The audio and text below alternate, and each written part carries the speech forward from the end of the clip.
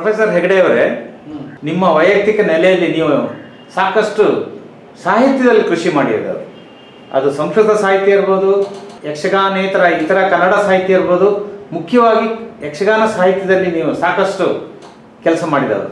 So ಈ ಮೂರನ್ನು ನಾವು ಬೇರೆ ಬೇರೆಯಾಗಿ ನೋಡೋದಾದ್ರೆ, ನಿಮ್ಮ ವೈಯಕ್ತಿಕ ಅನುಭವದ ಆಧಾರದಲ್ಲಿ ನೀವು ಕಂಡುಕೊಂಡಂಥ ಈ ಮೂರು ಸಾಹಿತ್ಯ ಕ್ಷೇತ್ರಗಳ ವೈಶಿಷ್ಟ್ಯ ಮತ್ತು ನಿಮ್ಮ ಅನುಭವದ ವಿಶಿಷ್ಟತೆಗಳ ಬಗ್ಗೆ ಎರಡು ಮಾತು. ಒಂದು ಬಹಳ ಮಹತ್ವದ ಸಂಗತಿ ಅಂತ ನಾನು ಹೇಳಬೇಕಾದ್ದು, ನಾನು ಕನ್ನಡ ಸಾಹಿತ್ಯದ ಅಧ್ಯಯನವನ್ನಾಗಲಿ ಅಥವಾ ಸಂಸ್ಕೃತ ಸಾಹಿತ್ಯದ ಅಧ್ಯಯನವನ್ನಾಗಲಿ ಗಂಭೀರವಾಗಿ ತೊಡಗಿಕೊಂಡದ್ದು ಹೇಗೆ ಅಂತ.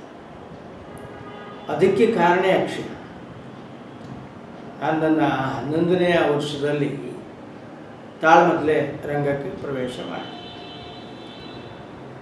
ಆಗ ನನಗೆ ಉಳಿದದ್ದನ್ನು ಅಧ್ಯಯನ ಮಾಡಬೇಕು ಅನ್ನೋ ಆಸಕ್ತಿ ಯಕ್ಷಗಾನದಿಂದ ಪ್ರಾರಂಭ ಆಯಿತು. ಯಾಕಂದರೆ ತಾಳಮದ್ಲೆಯಲ್ಲಿ ಅರ್ಥ ಹೇಳೋದಕ್ಕೆ ಬಹಳ ಸಾಮಗ್ರಿಗಳು ಬೇಕು. ಕೇವಲ ತಕ್ಷಣದಲ್ಲಿ ಉತ್ತರ ಕೊಡ್ತೇನೆ ಅನ್ನುವಂಥ ಒಂದು ಕೌಶಲ್ಯ ಮಾತ್ರ ಅಲ್ಲ. ಅದರ ಜೊತೆಗೆ ಬಲವಾದ ಒಂದು ಪಾಂಡಿತ್ಯ ಕಲ್ಪನಾ ಶಕ್ತಿ ಇವೆಲ್ಲ ಬೇಕು.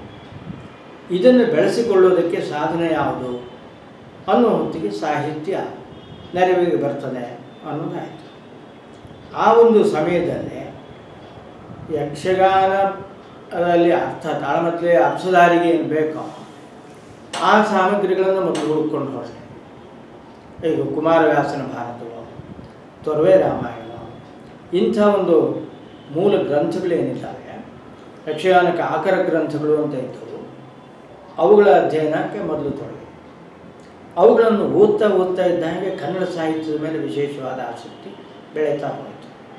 ಯಾಕಂದರೆ ಮೊದಲು ಇಲ್ಲಿ ಕಥೆಗಳಿದ್ದರಿಂದ ಅನೇಕ ಕಥೆಗಳ ಮೇಲೆ, ಪುರಾಣಗಳ ಮೇಲೆ ಆಸಕ್ತಿ ಬೆಳೀತು ಈ ಒಂದು ಕಾರಣದಿಂದ ಇದು ಇನ್ನಿಷ್ಟು ಬಲ ಆಗಬೇಕು ಅನ್ನೋ ಹೊತ್ತಿಗೆ ನಾನು ಸಂಸ್ಕೃತಕ್ಕೆ ಬಂದೆ ಯಾಕಂದರೆ ಇದೆಲ್ಲದಕ್ಕೂ ಮೂಲವಾದ್ದು ಸಂಸ್ಕೃತ.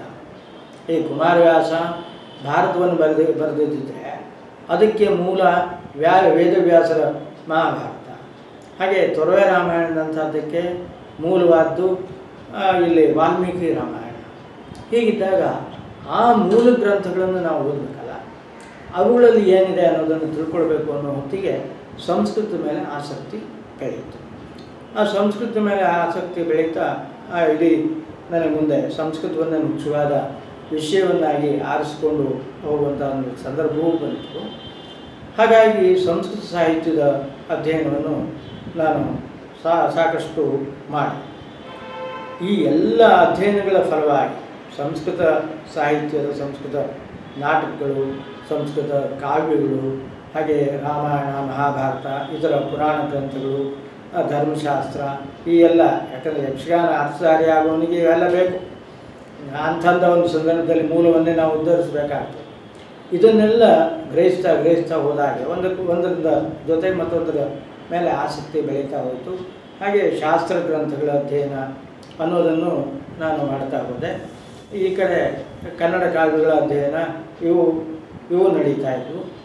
ಈ ರೀತಿಯಲ್ಲಿ ಈ ಎಲ್ಲ ಸಾಹಿತ್ಯ ಮತ್ತು ಶಾಸ್ತ್ರ ಇವೆಲ್ಲವೂ ನಮ್ಮನ್ನು ಸಮಾನವಾಗಿ ಆಕರ್ಷಿಸಿ ಈ ಸಾಹಿತ್ಯ ಅನ್ನೋದೇನಿದೆ, ಸಾಹಿತ್ಯದಿಂದ ದೊರೆಯತಕ್ಕಂಥ ಆನಂದ ಅನ್ನೋದು ಬೇರೆ ಆ ಆನಂದದ ಅನುಭವದಿಂದ ಮನುಷ್ಯ ಬೆಳೀತಾ ಹೋಗೋದು ಅನ್ನೋದು ಒಂದು ಹಾಗೆ ಶಾಸ್ತ್ರಗಳ ಮೂಲಕವಾಗಿ ಜ್ಞಾನ ಸಂಗ್ರಹಣೆ ಏನಾಗ್ತದೆ ಆಗ ದೊರೆಯುವಂತಹ ಆನಂದವೂ ವಿಶಿಷ್ಟವಾದ್ದೆ ಅದು ಕೂಡ ಸಂತೋಷಕರವಾದ ಹೀಗೆ ಈ ಬೇರೆ ಬೇರೆ ರೀತಿಯ ಇದನ್ನೆಲ್ಲ ಅಧ್ಯಯನ ಮಾಡ್ತಾ ಹೋದ ಹಾಗೆ ಅದನ್ನು, ಅದು ಯಕ್ಷಗಾನಕ್ಕೆ ನನಗೆ ಪೂರಕವಾಗಿ ಸಂದಿತ್ತು ಸಂದಿತು ಅಂತ. ಯಾಕಂದರೆ ಇವ್ಯಾವುದನ್ನು ನಾವು ನೇರವಾಗಿ ತಂದು ಬಿಡ್ತೇವೆ ಅಂತ ಅಲ್ಲ. ಇವೆಲ್ಲದರ ಅಧ್ಯಯನದ ಪರಿಪಾಕದ ಫಲವಾಗಿ ಮೂಡಿ ಬರ್ತದೆ ಇಲ್ಲಿ ಯಾವುದರ ಪ್ರಭಾವ ಯಾವುದರಿಂದ ಆಯಿತು ಯಾವ ಎಲ್ಲಿಂದ ಬಂತು, ಹೀಗೆ ಬೇರೆ ಬೇರೆ ಮಾಡಲಿಕ್ಕೆ ಆಗೋದಿಲ್ಲ. ಇಪ್ಪ, ಇದು ಒಂದು ವ್ಯಂಜನ ಈ ಪಾಯಸ ಅಂತ ಇದ್ದಾಗೆ ಪಾಯಸದಲ್ಲಿ ಬೇರೆ ಬೇರೆ ಪದಾರ್ಥಗಳನ್ನೆಲ್ಲ ಸೇರಿಸಿ ಪಾಯಸ ಮಾಡ್ತಾರೆ. ಆದರೆ ಪಾಯಸ ಉಣ್ಣುವವನಿಗೆ ಅದರದ್ದು ರುಚಿ ಬೇರೆ ಬೇರೆಯಾಗಿ ಕಾಣೋದಿಲ್ಲ. ಒಟ್ಟು ಅವನು ಆ ಸ್ವಾದವನ್ನು ಅನುಭವಿಸ್ತಾನೆ. ಹಾಗೆ ಆ ರೀತಿಯಲ್ಲಿ ಪಾಕಗೊಳ್ತಾ ಹೋಗೋದು ಅದು ಸ್ವಾಭಾವಿಕವಾದಂಥ ಒಂದು ಕ್ರಿಯೆ. ಹೀಗೆ ಈ ಬೇರೆ ಬೇರೆ ಸಾಹಿತ್ಯ, ಇದರ ಅಧ್ಯಯನದ ಫಲವಾಗಿ ಆ ಈ ಯಕ್ಷಗಾನ ಸಾಹಿತ್ಯದಲ್ಲಿ ತೊಡಗಿಕೊಂಡಾಗ ಆ ಯಕ್ಷಗಾನ ಸಾಹಿತ್ಯದ ಓದು ಮತ್ತು ಬರವಣಿಗೆ ಇವೆರಡೂ ಅತ್ಯಂತ ವಿಶಿಷ್ಟವಾದಂಥ ಒಂದು ಅನುಭವವನ್ನು ಕೊಟ್ಟಿವೆ. ಅನ್ನೋದಾಗಿ ನಾವು ಹೇಳಬೇಕು. ಯಾಕಂದರೆ ಯಕ್ಷಗಾನ ಸಾಹಿತ್ಯಕ್ಕೆ ನಾವು ಬರೋದಾದರೆ ಯಕ್ಷಗಾನ ಪ್ರಸಂಗಗಳು ಅಂತ ಏನು ಹೇಳ್ತೇವೆ, ಅದು ಪಠ್ಯಗ್ರಂಥ. ಪಠ್ಯ ಅಂತ ಹೇಳ್ಬೋದು. ಪ್ರಸಂಗ ಅಂದರೆ ತಟ್ಟನೆ ಉಳಿದವರಿಗೆ ತಿಳಿಲಿಕ್ಕಿಲ್ಲ. ಅವು ಯಕ್ಷಗಾನ ಕಾವ್ಯಗಳು. ಆ ಕಾವ್ಯಗಳಲ್ಲಿ ಈಗ ನಾನು ಹೇಗೋ, ಆ ರೀತಿಯಲ್ಲಿ ಒಬ್ಬೊಬ್ಬನು ಕೃಷಿ ಮಾಡಿದ್ದೆಂದು ಅದರ ಫಲವನ್ನು ನಾವು ಕಾಣ್ಬೋದಾದಂಥ ಒಂದು ಸ್ಥಿತಿ ಹಾಗಾಗಿ ಯಕ್ಷಗಾನ ಸಾಹಿತ್ಯಕ್ಕೆ ಅಂತ ಬಂದರೆ ಅದನ್ನು ಸರಿಯಾದ ರೀತಿಯಲ್ಲಿ ಅಧ್ಯಯನ ಮಾಡಿದ ಅಂತಾದರೆ ಅದು ಯಾವುದೇ ಸಾಹಿತ್ಯದ ಜೊತೆಗೆ ಸಮದಂಡಿಯಾಗಿ ನಿಲ್ಲುವ ಒಂದು ಯೋಗ್ಯತೆಯನ್ನು ಹೊಂದಿದೆ ಅನ್ನೋದನ್ನು ನಾನು ಗ್ರಹಿಸ್ಕೊಂಡು. ಈಗ ಹೇಗೆ ಪಂಪನಂಥವನಿಗೆ ಒಂದು ವಿಶೇಷವಾದ ಮಹತ್ವ ಇದೆಯೋ ಕುಮಾರವ್ಯಾಸ ಹೇಗೆ ಶ್ರೇಷ್ಠ ಅಂತ ನಾವು ತಿಳ್ಕೊಳ್ತಿದೆಯೋ, ಅದೇ ರೀತಿಯಲ್ಲಿ ಕನ್ನಡ ಸಾಹಿತ್ಯದಲ್ಲಿ ಅವರಿಗೆ ಸರಿದೊರೆಯಾಗಿ ನಿಲ್ಲಬಲ್ಲ ಸಾಮರ್ಥ್ಯ ಪಾರ್ಥಿಸುವುದಿಗೂ ಇದೆ. ಆದರೆ ಏನೋ ದುರ್ದೈವ, ಯಕ್ಷಗಾನ ಸಾಹಿತ್ಯದ ದುರ್ದೈವ ಅಂತ ಹೇಳಬೇಕು. ಕುಮಾರವ್ಯಾಸನನ್ನು ಪಂಪನನ್ನು ಸುಲಭವಾಗಿ ನಾವು ಒಪ್ಪಿಕೊಂಡು ಅವರನ್ನು ಮ್ಯಾನ್ನ ಸ್ಥಾನದಲ್ಲಿ ಇಟ್ಟಂಗೆ ಪಾರ್ಥಿಸುವುದನ್ನು ಇರಲಿಲ್ಲ ಅದು ಸಾಹಿತ್ಯ ಲೋಕದ ಅಲ್ಲಿ ಇರ್ತಕ್ಕಂಥ ಒಂದು ಕೊರತೆ ಆಗಿದೆ. ಮತ್ತು ಯಕ್ಷಗಾನ ಸಾಹಿತ್ಯದ ಬಗ್ಗೆ, ಸಾಹಿತ್ಯದ ವೈಶಿಷ್ಟ್ಯದ ಬಗ್ಗೆ ಮುಂದೆ ನಾವು ಹೆಚ್ಚಿನಾಗಿ ವಿಚಾರ ಮಾಡ್ಬೋದು. ಈ ದೃಷ್ಟಿಯಿಂದ ನನಗೆ ನನ್ನ ಒಂದು ಅನುಭವದಲ್ಲಿ ಈ ಒಂದೊಂದರ ಅನುಭವವು ಸಂಸ್ಕೃತ ಸಾಹಿತ್ಯದ ಅಧ್ಯಯನದಿಂದಲೂ ಸಂತೋಷ ಆಗಿದೆ.